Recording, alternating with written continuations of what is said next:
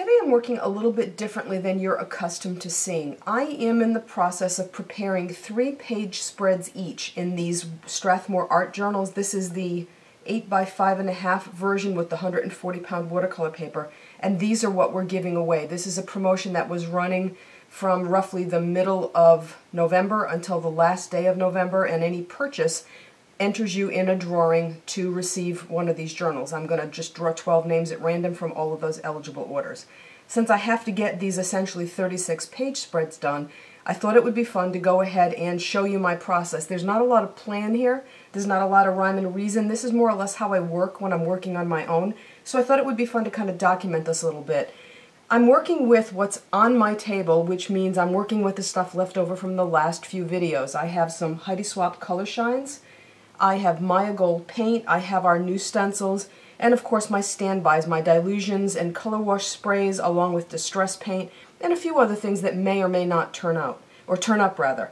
So I've already got one started here and I'm just playing with color and I'm laying it down and I'm ready to work on the next spread now. And this time I'm going to, rather than using Dylusions and color wash for the background, I thought it would be fun to do a background with the color shine mists. So I've chosen three colors. I have blush, citron, and amethyst. You can hear the mixing balls. I have to shake these to make certain that the pigment and the mica is all distributed in there. And so I'm just going to come in now someplace here. Just to sort of help control the overspray, I'm going to put this in. It's going to spray anyway, but it's going to probably not be quite so bad. So with these ready to go, all I'm going to do now is I'll probably start with the pink since it's kind of the lightest color. Now, the Heidi Swapp color shines tend to be mostly opaque, so that allows me the luxury of doing some things with them, knowing full well that if I need to cover something up, I can. Now, as the color absorbs in here, it's leaving a wonderful trail of color, obviously, or as the mist absorbs in, it's leaving a trail of color, and it's leaving a lovely trail of shimmer as well. Just going to come in and put some of the amethyst in. I don't want that to overwhelm, and I think that's probably enough. Now, because there is so much mica and so much pigment in this, I don't want to roll this with paper towels. Instead, what I'm going to do is bring in my heat tool and I'm going to dry it that way. If I were to sop this up with paper towel, I'd end up picking up a lot of the pigment and a lot of the shimmer, and I don't want to do that. So I'll move those out of the way and bring in my heat tool and dry this page. Because the color shine mists don't move a lot when you put water on them, I'm not going to try to ghost this page. Instead, I'm just going to spray through a stencil with a nice contrasting color to get some pattern on here. And this is our Endless stencil. This is one of Margaret's designs that I really, really love. And I'm just going to come in, this is teal. I'm just going to come in and lightly mist through the stencil. I just want to get some pattern on there. How pretty is that? Really, really love this stencil. Now, I'm not going to do this now because I don't have a page to work on, but there's all kinds of stuff on here that I'm going to turn over and print at some point, unless it dries, in which case then obviously I won't have the opportunity to do that. But that's what I would do under normal conditions. I would have another piece off to the side that I could work on, and I would print it on that, or I could just flip the page and print it on another spot in this journal. So let me dry this, and then we'll come back and we'll talk about adding some other elements to this.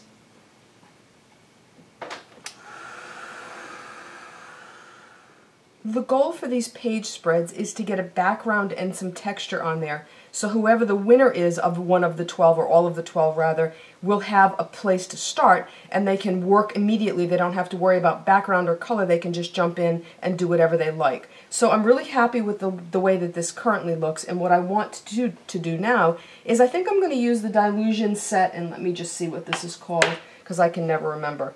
This is bags of bunting. I think I'm going to use the bunting elements and I'm going to just align them along the top here, except that I can feel that this is damp. I must have missed with the heat tool, so let me just give this a bit of a blast. So I'm going to stamp these in black, and I'm going to align them like a banner across the top, and then I'll connect them with a black Pitt pen, and maybe even come in and do some work with my Gelly Roll pens if I can figure out where I've put them. This is almost dry now. All right, that's close enough. We can make that work. So I have a couple options. There are this, this, this piece that's already connected here, and then there, there, there are the eight individual banners, and I think, or pennants rather, I think I'm going to use these. So I like this one, and this one, and this one, and this one's fallen off, so I guess I'll use that one too. All I'm going to do is just work with black StazOn so that I know that my color doesn't move. Just going to press that onto a acrylic block. Now, I could have this be one just sort of swooping banner like this, or I could make it undulate if I want. So I think I'm going to start here, and I'm just going to support this underneath so that I get a good impression. I think I'll start here. Now I'm going to swap this out for another pennant.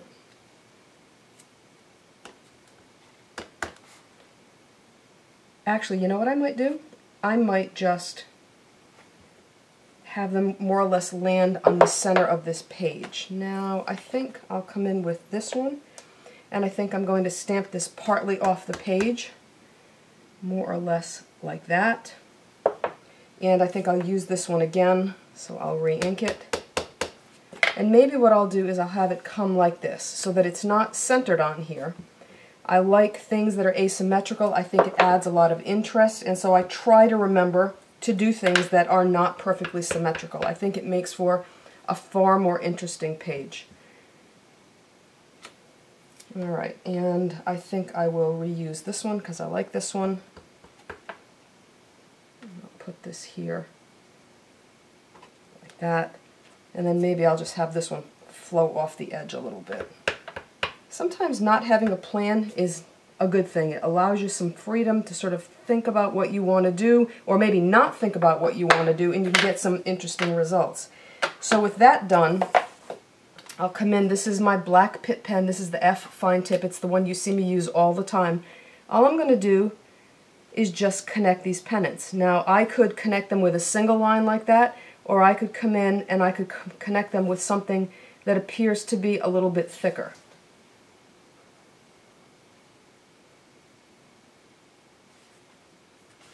Just turn this this way.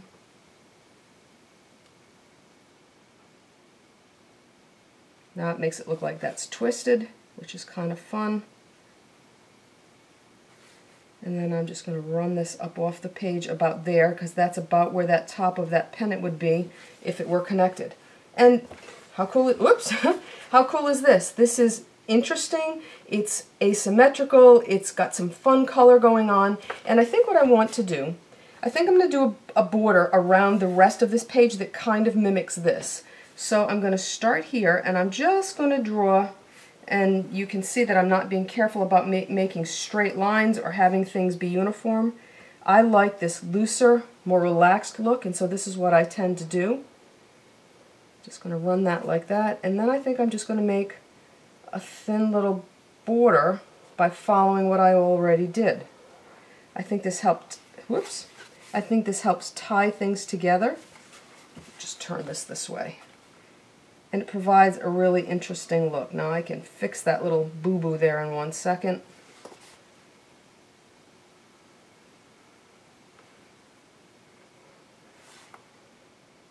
There. Now, how do I want to work with this border? Well, I could do a bunch of different things, but since I want to camouflage this, I think I'm going to do a narrow checkerboard, um, or I could do some circles. So maybe I'll do both. That allows me to sort of camouflage that mistake while at the same time making it look as though it belongs with the rest of this. Now you can get fancy, you can be not so fancy. You can let the background be the star and maybe all you would do would be to come in and journal some sentiments in here or a poem or a quote that you like. Or you can make the background just the supporting cast so that whatever you collage over the top of it becomes the most important piece. It's just one of those things. Certain people like to work certain ways. It really depends on what your preference is. Now, I'm, you don't have to watch me do the rest of this, but here you see what I've done. I'm going to leave this open so that it looks like my area is here, and I probably won't do anything else here. But I think that for whoever receives this journal, this is a great start. This is a great start, and I'll do one more. Don't know what I'm going to do yet, but we'll figure that out as we go. this spread is finished and I did want to show you what it looks like before I move on to the next one. I did finish the border around here and all in all I really like the way this looks. The only other thing that I did that you didn't see was I came in with some Gelly Roll metallic pens and just highlighted certain elements on the pennants. That's it. This one is done and I'm very satisfied with it. So I'm going to move on now to another spread and I will grab my papers again. I'm going to put them in place. This time I'm going to work with warm colors. So just let me get these here. And I have Postbox Red, Lemon Zest, and Funky Fuchsia. Fun colors. So I'm going to come in and put some yellow on here. Some of the Postbox Red, which I'm very fond of. And then I'm going to come in with the Funky Fuchsia. I got a funky sprayer on this bottle. I need to change it out. Occasionally they do this. They just kind of say, oh, can't do anymore. And they kind of give it up. All right. so this looks pretty good. What I want to do now is just come in and hit this with my roll of paper towels and absorb most of the moisture. And you see the paper towels leave some cool patterning in there. These are Bounty, I think. Let me just sop this out of the middle. Now what I want to do is if I hit this with the heat gun and dry it right away, it'll actually dry with this little bit of texture in there, but you have to catch it really quickly. And I may have gone a little bit too far, we'll have to see. All dry now, and so I'm going to come in, this is rosettes, and I'm going to come in with it, and I'm just going to, there we go, I'm going to ghost through the openings on this. Because I've used Dylusions, it means obviously that the color will lift when water hits it. So what I'm going to do is just grab a piece of clean paper towel. I want to kind of mask off this edge. What I don't want to do is overspray, and I'm liable to do that. So I just want to lightly mist through the opening here. And then let the water do its magic. You can already see some lightning going on. And I think I'm going to just print this here and see what happens. Doesn't do much, it doesn't do much, nothing ventured, nothing gained. So I just need to let this work for a moment and let the water do its thing, but you can see the design starting up here, and there'll be some blotchy stuff going on here, and I can already just barely see the beginnings of the reverse of that image. And the nice thing is, is I got some of this patterning from the paper towel. I was able to leave, excuse me, I was able to hit it with the heat tool quick enough to catch some of that. So let's see what this looks like. I'm just going to come in and blot this. I don't want to do a lot here, so I'm satisfied with this. It doesn't have to be a ton. I just want to get some texture on there, and that's exactly what I have. And I have kind of the reverse of it here. Now, I can grab my stencil again, and I can come in, and this time, because I do want a little bit more, this time I'm just going to mask that off and then I'm going to lightly spray through the stencil again. Now I'm not going to print this one, I'm not worried about that. I just want to get this image through there. I can see that it's working already. Let's just give that a moment. This is fun for me. I like to experiment. I like to play and see what happens. What happens when I do this? Or what happens when I put these two colors together? Or these two products together? Sort of lots of options to play. And at the end of the day, you cover the page with paint or gesso if you don't really like it. It's not the end of the world. So that's cool. I've got this sort of tattered look going on here, which is good because the rosettes are definitely distressed. I deliberately made them that way when I designed the stencil. So what I want to do now is come in and I'm going to use Flower Burst. I'm very fond of this design. Now again, I'm just going to mask this off lightly here. Mostly I want to get over here.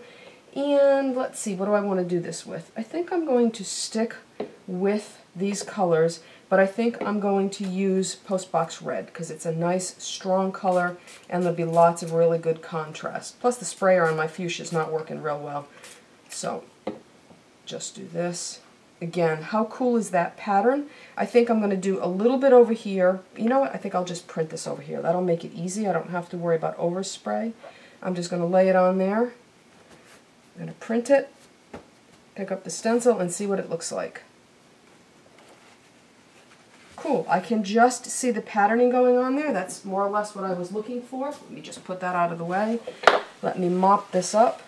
Come back with the heat tool, dry it, and then we'll talk about what's next. You can see that this is dry now, and the next thing I want to do is something that I don't do very often, but I probably should. This is a soft rubber brayer that I've just wound a couple of elastics on. My goal is to get paint on the elastic so that I can I can run or brayer this design on here. I'm going to try to avoid getting paint on the, the brayer itself because I don't want a big smear. I just want a little bit of design. This is Maya Gold. This is the color called Fire Red. I'm going to put a little bit out on my craft sheet and I'm actually going to put just a thin layer out. Oops, my cap's gone a little bit wonky here. There we go. I just want to put a thin little layer out, no sense in wasting the paint. Because I just want to see if I can ink the rubber bands. I don't want to ink the brayer itself. So let me just wipe my finger off. So I'm going to very lightly run this brayer and just hopefully that the elastics pick up. And you can see that that's more or less what's going on here.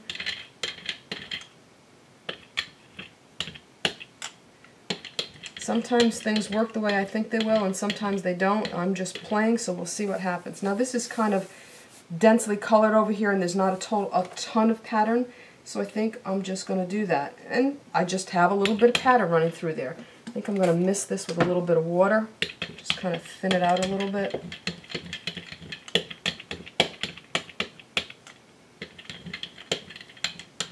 Alright, let's see what we do that. Oh, that's interesting. So let me come over here where it's lighter. I'm not looking to achieve anything spectacular. I just want to put some pattern on there. And that's exactly what I have. Sometimes it's just a question of playing to see how you like the way things turn out. Now cleanup, obviously Maya Gold is water-based, so I'm going to put the lid on this.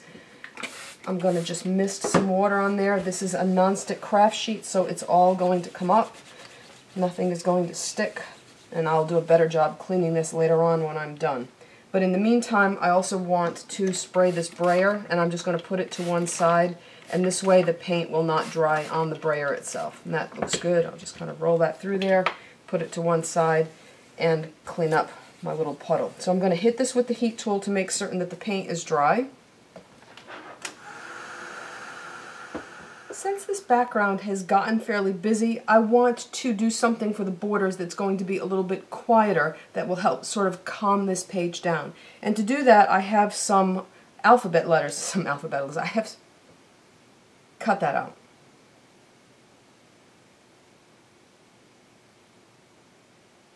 because this page has gotten a little bit busy, I want to do a border on here that's going to be a little bit quieter, that's going to calm it down a little bit. And so I've gotten some uppercase letters and I'm going to grab my, my Pitt pen again and the black ink pad, if I can put my hands on it. Here we go. And I'm just going to, to stamp the words around the border, and then I'm going to connect them with um, a couple of lines probably.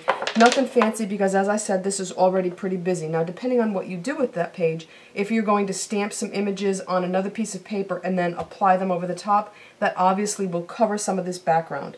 So I'm just probably going to stamp one, two, three, and maybe repeat that. So I have the appropriate letters and I think I'll just start here. And when I do this, I'm going to turn my journal so that the the letters are all facing the same way, and you'll see what I mean in one second. Now this doesn't look great. So I'm just going to fill this in a little bit, and really it's that easy. If you have a little bit of a incomplete letter, just go ahead and do that. So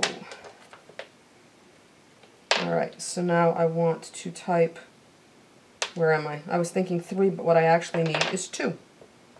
So here's the O. Alright. So this time,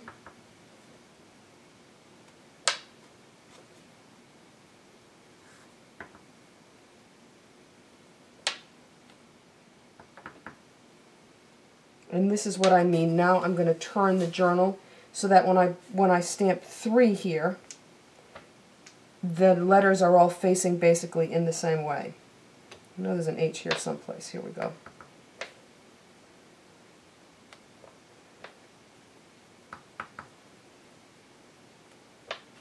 Now you'll notice that I'm not making an, any effort at all to keep these letters aligned or spaced or anything. I'm not really worried about that. I just kind of like the effect I get with this border. And now I'm going to start again. I'll start with one again and I'm just going to going to repeat the one, two, three. Now there's the E here someplace. With these letters all stamped, now it's just a question of joining them together. And again, oftentimes I will use a single line or two lines, and I think for this I'm going to use two reasonably narrow lines.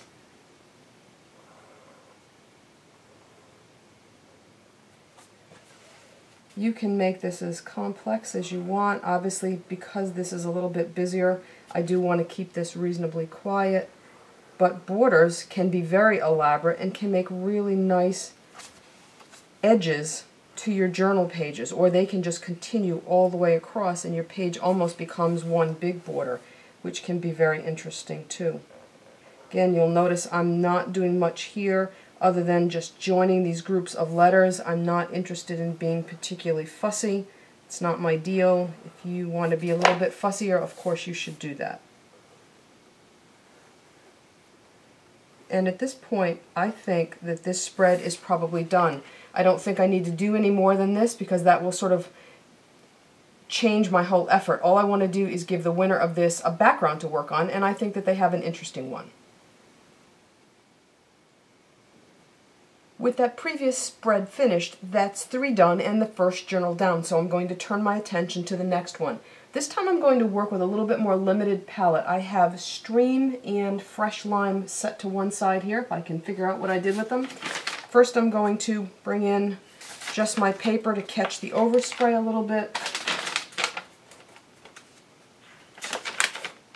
And here is my fresh lime and my stream. I'm actually going to keep this a little bit light. I have a plan here. We will see if it comes to fruition. Not going to do a whole lot. And rather than mop this up, I'm actually just going to dry the page as it is so that I don't pick up any of that color. Because this is pretty light to begin with, it will be even lighter if I actually came and roll this with paper towel. So I'm just going to let this dry and then we will move on to the next thing. This is pretty pale, and so I think what I'm going to do is, this is Margaret's Speed of Light. I'm just going to lightly mist through this with the stream. If I can get this to lay flat. I just want to add a little bit of texture. Again, looks pretty cool. I don't need to do too much to this. I'm going to mimic this on this edge over here as well just a light little spray. I don't care about those splotches. In fact, I actually like the splotches. Some of the time what I do, let me grab a piece of paper towel and just mop this up. Some of the time what I like to do is take my spray bottle, this is again stream that I've put in an empty bottle and mixed with water to thin it out a little bit. I just want to hold this and just give the, it's hard to do, just give the sprayer a little bit of a squeeze and that gets just a little bit of the color out here and it means that I can dab it on. There's lots of different ways to achieve texture. This is just one of many. Alright, so I need to dry this again and then I can come in and show you the next steps.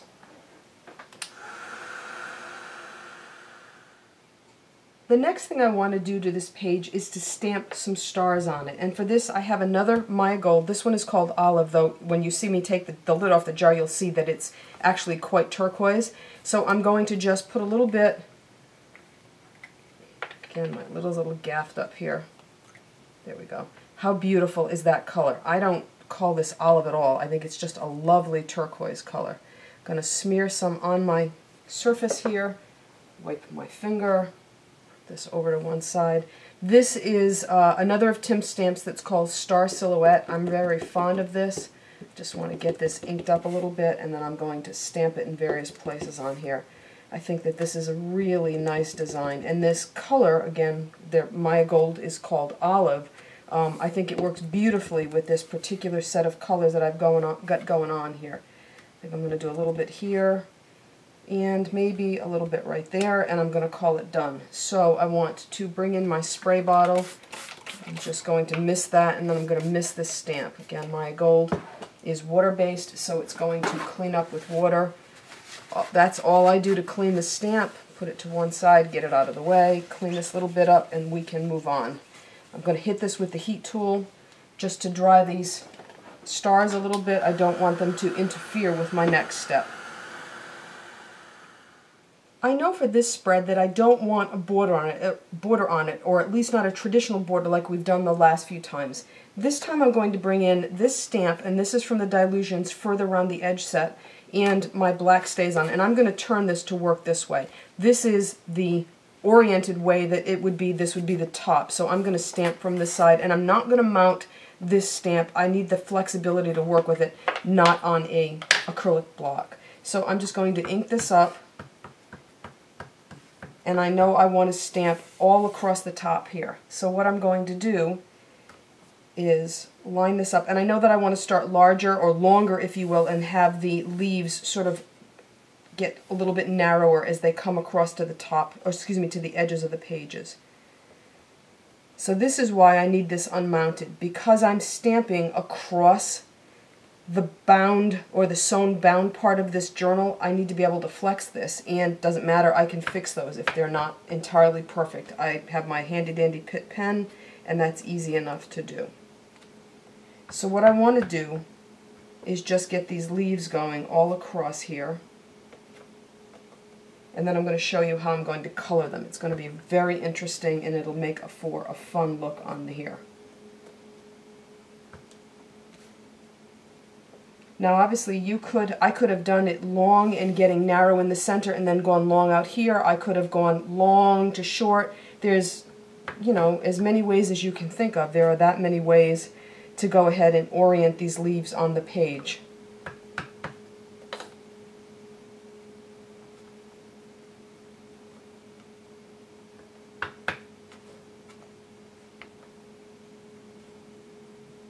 And I'm being careful. I don't want to reproduce the exact same look, so I'm turning things different ways. Alright, so that's done. Let me just clean this up and grab my Pitt pen because I can repair these little boo-boos here. Again, I'm just going to finish this leaf. I'm going to finish these vines.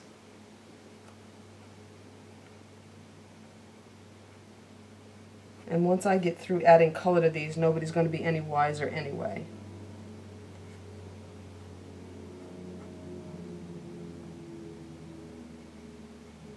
Alright, so that looks pretty good.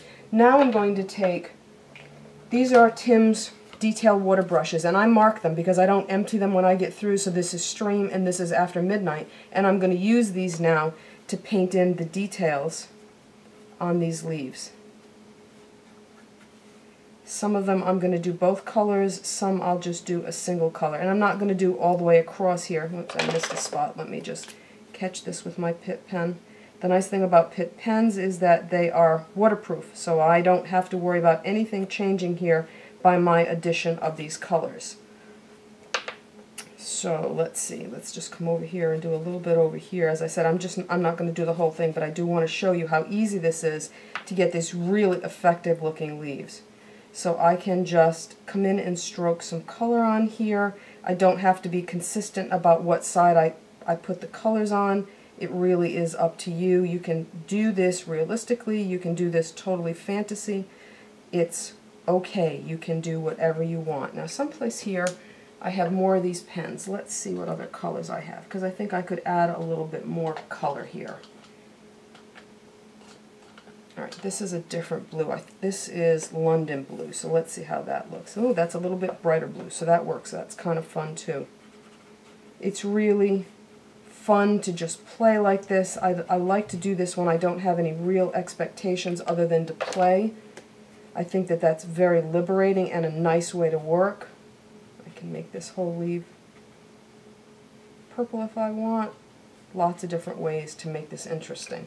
Now, if I wanted to, I could come in, depending on your, your preference, one of the things that's fun that you can do, and I will do this and I'll come back and show you in the, the beginning of the next segment, I'm going to fill these all in, I'm going to dry them, and then I'm going to hit them with the Sakura, um, the Sakura glue pen, and I'm going to sprinkle a little bit of glitter on them. It's November, I'm feeling Christmassy, I want to add some glitter.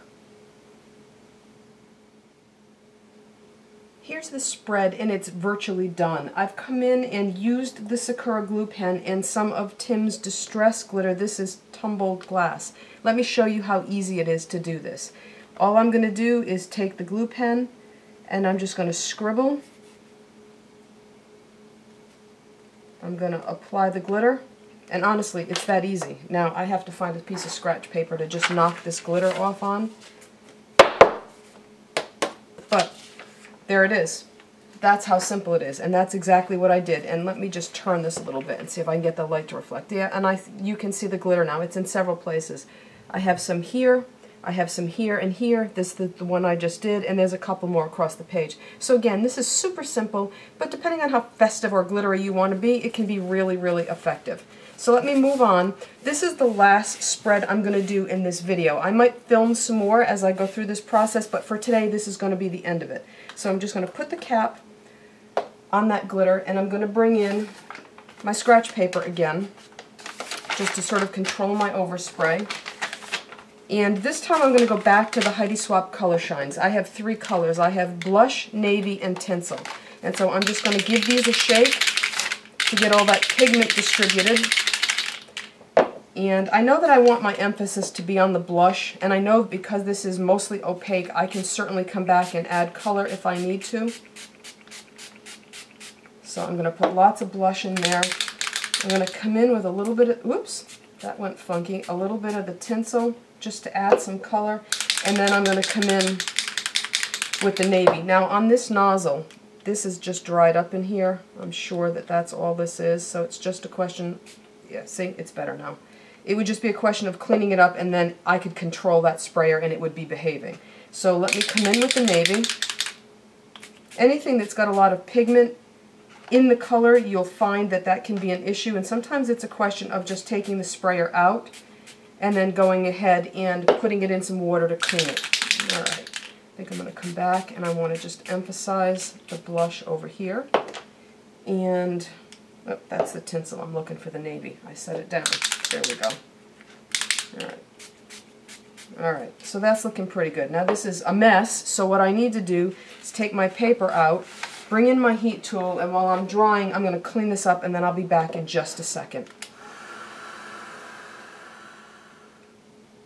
Background's dry, so the next thing I'm going to do is bring in a stencil. And I think I'm going to spray with blush on the dark areas and with um, the navy on the lighter area. I'm not going to cover this whole thing, but that's kind of my plan. So, give the blush a little bit of a shake. And this is the new Amoeba, Amoeba stencil. I'm actually quite fond of this one. Alright, pick that up. Now this is going to be subtle in places, but once this dries you'll be able to see it. So let me just find the navy, which I know I want to put in here. That's really cool. And then I think I'll bring some more of the blush here. But this time I want to mask this. I don't want a hard line where the edge of this stencil is. So I'm just going to lay some paper towel there. Oops, wrong one. There, that works. Alright, so now I'll pick this up how cool is that? Really, really fun pattern. I like this design. Um, again, that one is Amoeba. Let me put the stencil to one side and bring in the heat tool and dry this again.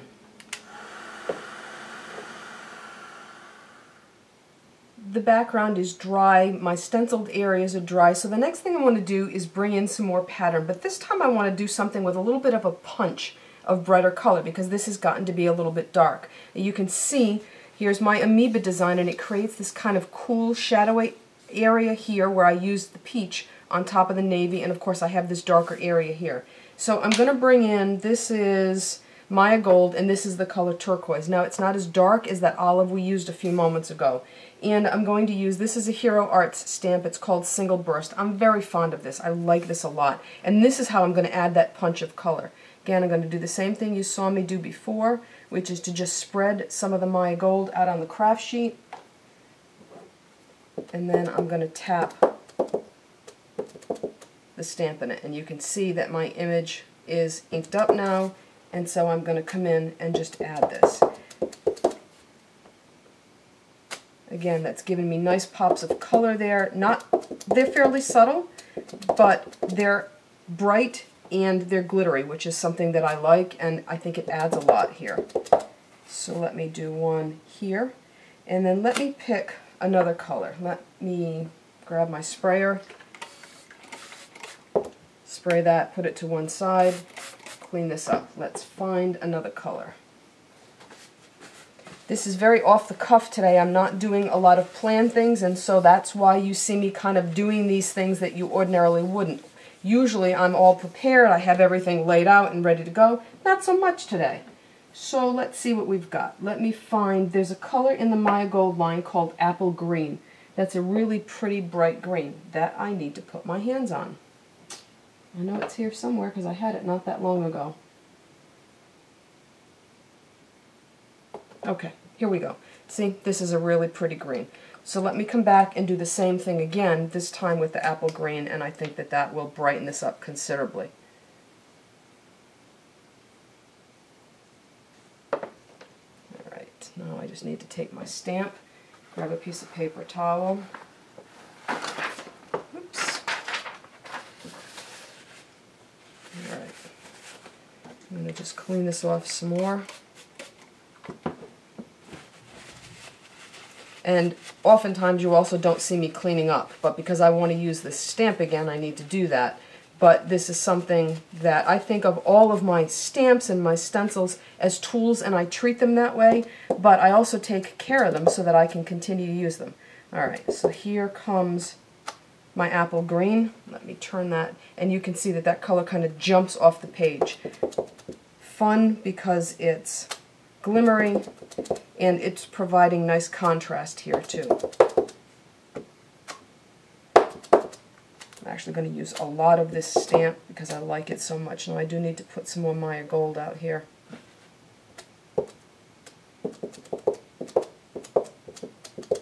Alright, that looks like a good spot. And I'm making, as I said, I'm making heavy use of this design because I really do like it. Alright, so I'm going to stamp this, uh, excuse me, I'm going to spray this again with water, put it to one side so I can clean it up later. Just kind of clean this little bit of a mess up here. And then I want to talk about the last thing that I'm going to do to this page. And I'm going to, I think I'm going to alternate between the, what color is this, turquoise and the apple green. Someplace here. Alright, so I have, this is just a white Gelly Roll pen, but you can see that there's color on the end. I'm going to, I think I'm going to create a border of dots using the flat end of this pen. So all I'm going to do is dip it in here, sort of tap off the excess, and then I'm just going to tap. I'm not looking for perfection, I'm just looking to lay some color down. So there's lots of ways to achieve pattern and texture on a page. It's just a question of deciding what it is that you want to do. There's no right way, there's no wrong way, there's just the way that you happen to be trying at that moment.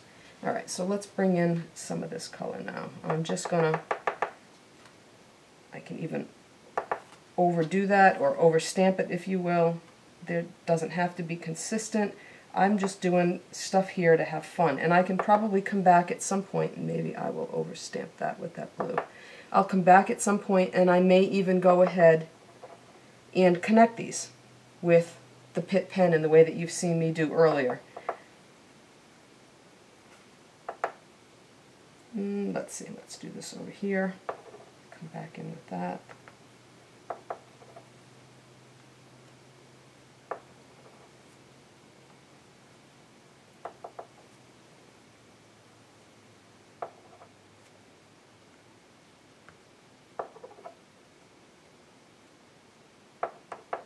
Alright, so that's, I'm going to call that done. I'll dry this, I'll come back and I'll connect the dots with my Pitt pen, and then I'm probably going to call this spread done, which means I'll have two done in this journal. That means I have to do one more here, and then I have another 10 in front of me. This is fast, it's easy, and it's a lot of fun. I hope that you either win or won one of the journals and that you enjoy working in it, and at a minimum, I hope you find some inspiration in all of these techniques.